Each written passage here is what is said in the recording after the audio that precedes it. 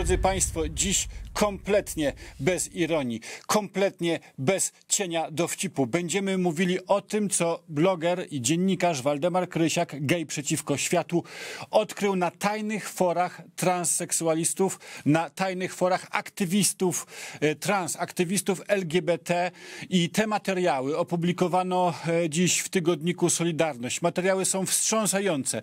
Powiedziałbym nawet, że e, nie dla dzieci. Będziemy o tym mrocznym sekrecie LGBT mówili, a Waldemar Krysiak jest z nami na łączach. Witam cię serdecznie. Witam, dzień dobry.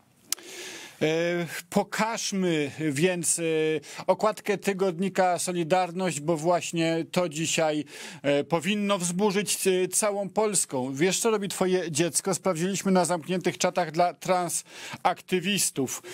I drodzy Państwo, pokażmy też kilka poszczególnych czatów, na których w sposób tajny zalogował się Waldemar Krysiak, gdzie wchodził tam poprzez różne etapy sprawdzania, kontroli, maskowania się, aż dotarł do tych kompletnie zamkniętych na Discordzie. I tutaj mamy, proszę Państwa, rozmowę nastolatków, 14-15 lat i rozmowa o tym, jak poddać się e, terapii hormonalnej, aby zmienić płeć. Dzieci bez wiedzy rodziców, bez opieki psychologa docierają na takie fora i rozmawiają o hormone replacement therapy terapii. Y, co więcej, znają terminologię. To jest zamknięty świat, gdzie po prostu najmłodsi y, obywatele mm, zapoznają się z głębokimi manipulacjami, gdzie zachęca się je do zmiany płci poprzez branie hormonów. Pokażmy następne przykładowe screeny, które Waldemar Krysiak wydobył właśnie z tych mrocznych zakątków internetu grup LGBT. Tu mamy, proszę Państwa, admina e, serwera, e, który e, zachęca do brania leków. Szesnastolatkę i także wymienia konkretne nazwy, instruuje, co brać. Pisze, że rajcuje ją namawianie ludzi na te leki, na te hormony, które, proszę Państwa, mogą nieodwracalnie zmienić ciało y, dziecka. I ostatni y, przez nas tu proponowany, prezentowany materiał, choć Waldemar Krysiak podał ich o wiele więcej. Y, proszę Państwa, tutaj instrukcja, w jakim wieku jakie hormony brać, jak je kupić, ile dawek zastosować. Tutaj od 13 roku życia, czyli wczesny okres dojrzewania, ci transaktywiści rekomendują tym dzieciom, zachęcają ich do zmiany płci poprzez terapię hormonalną, bez wiedzy rodziców. Co więcej, to rodzice mają być tym złem, który nie rozumie potrzeb e, dzieci. Waldku, zrobiłeś wielką robotę, e, prawdziwe śledztwo dziennikarskie, więc zapytam cię najpierw, jak to zrobiłeś? Jak dotarłeś do tego wewnętrznego kręgu transaktywistów? Um, to było, um, odbyło się to w kilku etapach. E, najpierw dostałem się na tak zwane e, fora zaufania, fora wsparcia dla transaktywistów, bo nawet nie można mówić o LGBT, to są tylko osoby transseksualne, to z gejami nie ma żadnego związku tak naprawdę. E, dotarłem na te grupy wsparcia dla transaktywistów. Stamtąd przyniosłem się na Discord. To jest taka specjalna właśnie aplikacja, używana szczególnie przez osoby młode. I na Discordzie dowiedziałem się, że tych Discordów, tych serwerów, poddziałów jest kilka. I na dwóch serwerach, czasami ten trzeci serwer polecano, czasami nie, e, wiedziano, że dzieje się tam coś dziwnego. No i dostałem się dzięki temu, e, dostałem się, to, to wiedziałem, że muszę się tam dostać. Dostałem się w takim razie na ostatni serwer, no i na tym ostatnim serwerze okazało się, że tam nie ma żadnych granic. E, osoby dorosłe, e, najpierw tylko pisały o tym, że organizują tak zwany self-med, czyli e, lekarstwa brane, zdobyte nielegalnie, brane w nieodpowiedni sposób, że organizują je osobom nieletnim po to, żeby mogły realizować swoją transseksualność. E, I e, Później podałem się za 14-letniego chłopca. Napisałem wprost, jestem 14, mam 14 lat, nienawidzę swojego ciała, e, cierpię na dysforię, bo to jest problem osób transseksualnych e, i potrzebuję teraz leków, żeby nie zamienić się w mężczyznę. Chciałbym być dziewczynką. E, I właścicielka tego serwera, e, właściciel to jest mężczyzna, działający pod pseudonimem Victoria, e, od razu załatwił mi kontakty. Dodał mnie do specjalnej podgrupy na serwerze, do tak zwanego straganika. I na straganiku jest otwarty handel. E, handel działa na trzy różne sposoby. Są osoby, które e, chodzą do lekarza, bo są e, transseksualne. Lekarze przepisują tych leków według tych osób za wiele, za, o wiele za dużo, trzykrotnie po części za dużo. No. I te, te lekarze. Albo handel jest, albo jest się przekierowanym do chemicznych wróżek, one, one się tak nazywają, i te chemiczne wróżki załatwiają, e, sprzedają, e, załatwiają po prostu osobom dorosłym, nieletnim, dzieciom e, te hormony, albo e, przekierowanym się jest do specjalnych stron. To są z reguły strony, które udają strony z torrentami, z filmami, kiedy ściąga się odpowiedni plik. E, w tym pliku są zawarte dane do, do transakcji, którą można wykonać w internecie i te lekarstwa przychodzą, lekarstwa przychodzą wtedy na przykład z Ukrainy od pani Leny czy od pani Heleny. Tak to wygląda. E, No, e, Waldku, to jest wstrząsające. Opisałeś to w tygodniku e, Solidarność e, i Ja, ja dziękuję bardzo tygodnikowi Solidarność za pomoc, bo ja nie wiedziałem na początku, co z tym w ogóle zrobić. To dzięki e, Cezaremu e, Krzysztopie e, z tygodnika Solidarność ta w ogóle sprawa poszła naprzód. ja tylko powiem, że jesteśmy pierwszą telewizją, e, która o, o tym e, mówi. E, odważnie, proszę Państwa, i tutaj jest prośba właśnie w środku programu, żeby tę odwagę wspierać. To właśnie bloga Waldka Krysiaka, chociażby na Facebooku, Gej przeciwko światu, obserwować, polajkować, komentować, udostępniać innym ludziom, bo to nie tylko, choć też znakomite żarty z lewicowej ideologii LGBT, ale jak widać też bardzo poważne alarmowanie e, rodziców, że ich dzieci mogą być poddawane no, kompletnie potwornej manipulacji i zachęcam też do zasubskrybowania telewizji w Polsce.pl. Waldku, ale czy to znaczy, że po prostu istnieje jakaś grupa transaktywistów, która ma sieć kontaktów nielegalnych ze zdobywaniem tych, jak to mówimy, leków, ale tak naprawdę hormonów i dostarczają to dzieciom, żeby w okresie dojrzewania no nie, nie, nie dojrzały w ramach swojej biologicznej płci, czy tak?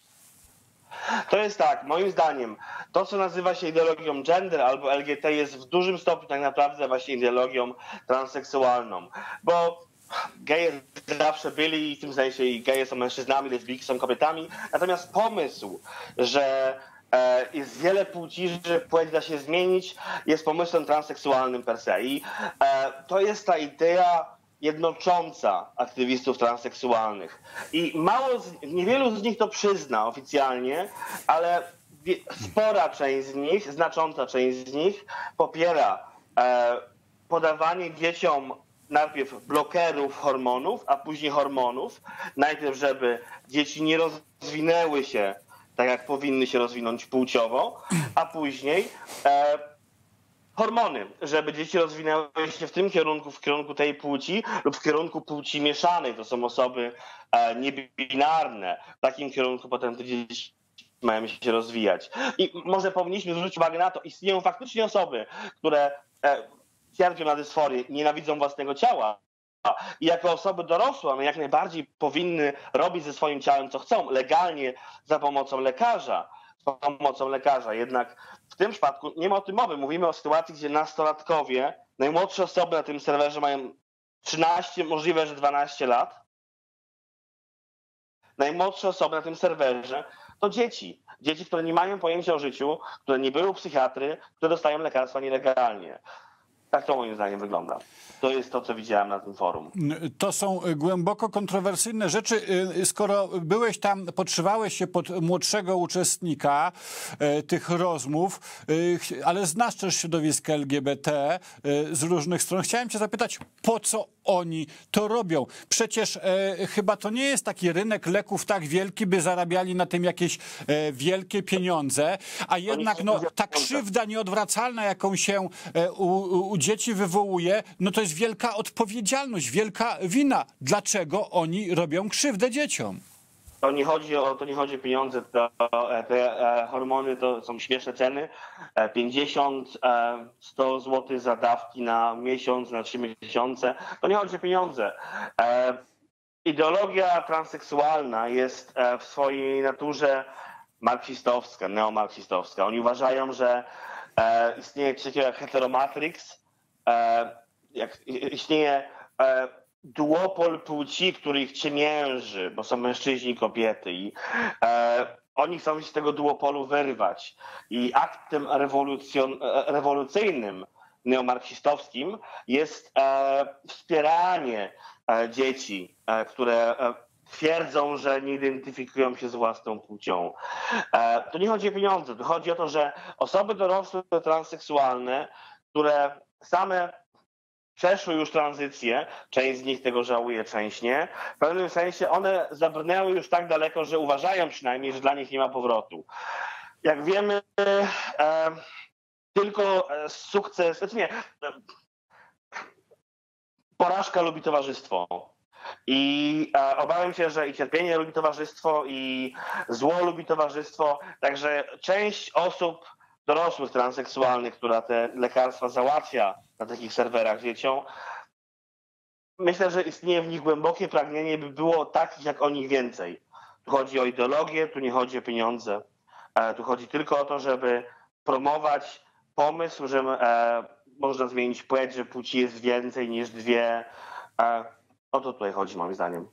To jest wstrząsające, bo właściwie powiedziałeś, że ludzie, którzy już ulegli tej ideologii gender, y, zmienili płeć, żałują tego, chcą w to zło wciągać następnych ludzi, ale tu chodzi o niewinne y, dzieci. Na zakończenie zapytam cię, bo wiem, że chcesz sprawę złożyć do prokuratury oczywiście, bo mhm. tu mowa o przestępstwie. Y, jakiego byś scenariusza oczekiwał? Y, co powinno spotkać ludzi, którzy namawiają dzieci, korzystają z ich kryzysu wieku dojrzewania i namawiają ich na zmianę płci poprzez branie szkodliwych dla nich substancji, hormonów. Co powinno państwo polskie, prokuratura i sądy, twoim zdaniem, zrobić z takimi transaktywistami?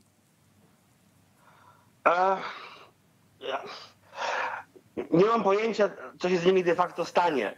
E, na chwilę obecną rozumiem, że transaktywiści dowiedzieli się o tym, że ja wiem, że wiedzą już teraz tysiące osób, dziesiątki tysięcy, także e, oni starają się prawdopodobnie na tym, w tym momencie zatuszować swoje, swoje ślady. Moim zdaniem osoby, które namawiają dzieci do przyjmowania hormonów, e, powinny wylądować w więzieniu. Przykro mi, nie może być przyzwolenia na eksperymenty na dzieciach. Dorosłe osoby mogą ze swoimi własnymi ciałami robić co chcą. Od tego jest medycyna, od tego są psychiatrzy. E, ja rozumiem, że sytuacja osób, które cierpią na dysforię, które nie identyfikują się z własnym ciałem, że to jest poważne zaburzenie, coś powodującego cierpienie. Jednak nie można pozwolić na to, żeby wciągane były w to dzieci. E, drodzy Państwo, wspierajmy Waldemara Krysiaka, obserwując jego blog, e, rozpowszechniając te treści, ponieważ znamy też e, te środowiska ideologii aktywistów LGBT i transaktywistów także. Wiemy, że one będą żądne zemsty. One zresztą o tobie, Waldku, pisały na tych forach, że właśnie jesteś obiektem. Niestety nie mamy czasu tego wątku już pociągnąć, ale będziemy ciebie wspierać. O to prosimy naszych widzów. Waldemar Krysiak bloger, autor materiałów w tygodniku Solidarność, e, bloger e, Gej Przeciwko Światu, był moim i Państwa gościem. Serdecznie Ci, Waldku, dziękujemy za to śledztwo. Kłaniam się nisko. E, kłaniam się także Państwu. Mówiło się, że prawica przesadza w ocenianiu ideologii LGBT. Okazało się, że nie tylko nie przesadzamy, ale jeszcze nie wiemy wszystkiego, że to jak w dantejskim kręgu piekła jest coraz głębiej, coraz kolejne te kręgi piekła możemy odkrywać i podejrzewamy, że ci transaktywiści, jak pisze tygodnik Solidarność, którzy e, zachęcają dzieci do brania hormonów, to prawdopodobnie nie jest ostatni krąg tego piekła. Zostańcie Państwo z nami. Za chwilę następny program Gorące Pytania.